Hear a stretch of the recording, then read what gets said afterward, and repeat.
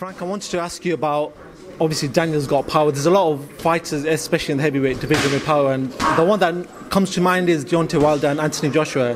Now, you fought somebody like Mike Tyson, who, who was known for his power. Talk to me about Mike Tyson's sort of power that he had in the ring. You faced him twice.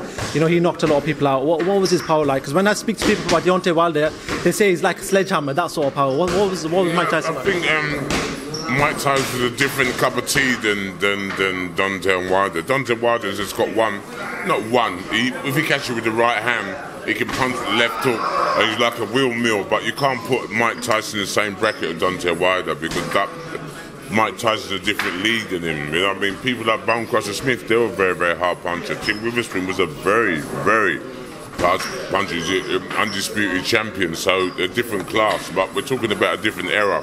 Deontay Wilder's a good fighter, but at the end of the day, I think he's limited in a lot of different things that he does. But he's a champion, so you can't take that away from him. Uh, what do you make of the current heavyweight scene with Anthony Joshua losing his titles? You got Tyson Fury there. You got Deontay Wilder. Who do you see as the king of that crop? And Dillian Whyte you got as well. Dillian Whyte as well. And you've got some other youngsters coming up and whatever. It's a very exciting time in British boxing.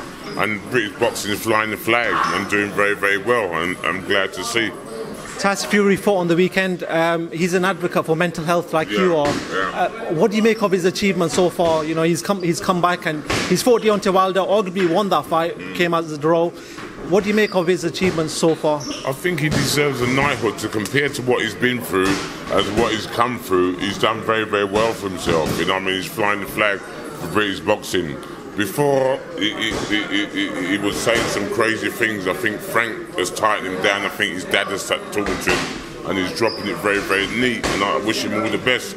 British boxing's in the right, right, good place at the moment. I hope Henry Joshua can get his belt back and then he puts some notes on the check for all the boxers to get in there to make some corn for themselves and do very, very well. It's nice to keep all the belts over in England because people used to disrespect us and um, um, underestimating us. But if you look at all different weights, we're flying the flag in the big, big way. So.